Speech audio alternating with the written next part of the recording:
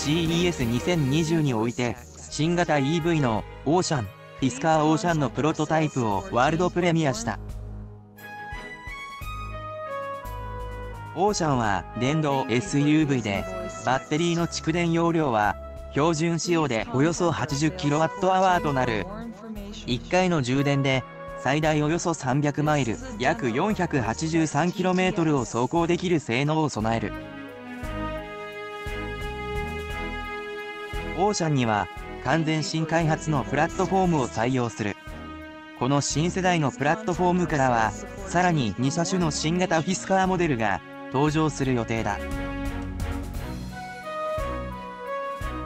また駆動方式は 4WD だ。前後アクスルにモーターを搭載する。米国でのベース価格は3万7499ドル約410万円と従来のフィスカーの電動モデルと比較すると大幅にリーズナブルな価格を実現する。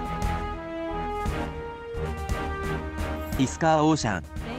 このオーシャンにはカリフォルニアモードを設定する。カリフォルニアモードは SUV としては初めて。ソフトトップを使用せずにルーフをフルオープンにできるシステムでフィスカーの特許技術という。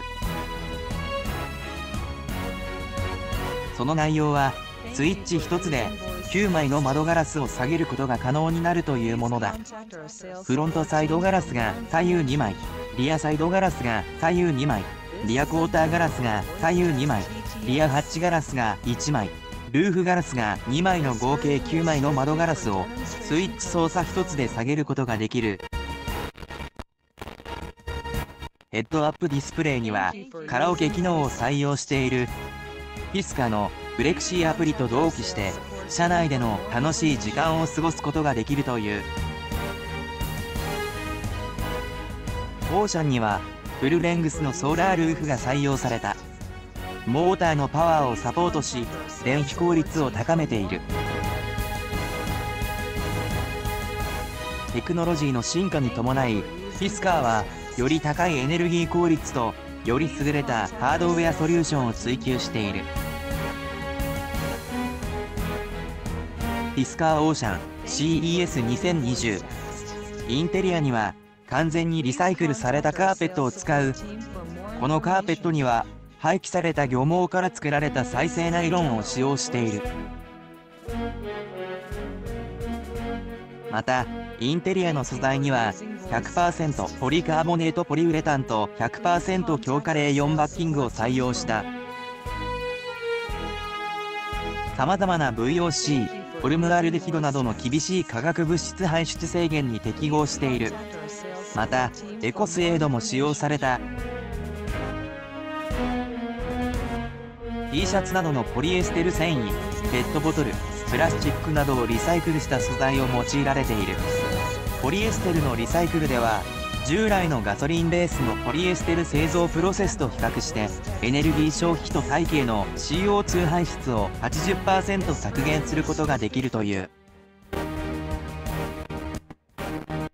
エコサステナビリティとして汚染物質の排出とエネルギー消費のレベルは生産サイクル全体を通じて保証されている。オーシャンではゴム廃棄物も再利用する。フィスカーはタイヤの製造中に発生した廃棄ゴムを埋め立て地に捨てずに利用する。サイクルすることでエネルギーの量を大幅に節約でき最終的に温室効果ガスの排出を削減できるという。フィスカーはオーシャンの生産を2021年内に開始することを目指している。2022年に最初のデリバリーを始める予定だ。同社は、電池などの重要なコンポーネントを含む戦略的なサプライチェーンをグローバル規模で確保した。より、2022年から2027年までに100万台を超える車両の生産を見込んでいる。